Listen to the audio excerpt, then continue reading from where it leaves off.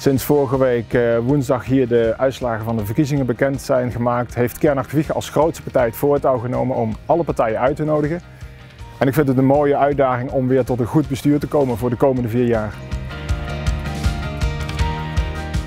Nou, alle partijen zijn ingegaan op de uitnodiging.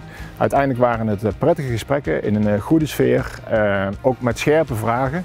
En ik vind het uh, mooi om te melden dat uiteindelijk alle partijen ook een positieve uh, houding hebben aangenomen, ook een constructieve houding. En daarmee ligt er een, een basis voor de, voor de vorming van een, nieuwe coalitie, maar ook voor de nieuwe raad in de komende periode.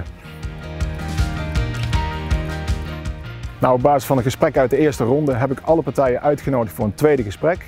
Uh, dan gaan we verder praten op inhoud en daarmee starten we komende week. Wanneer er een nieuw college is, dat weet ik nog niet. We hebben de traditie in Wiegen om de vaart erin te houden. Maar uiteindelijk staat zorgvuldigheid eh, voorop natuurlijk.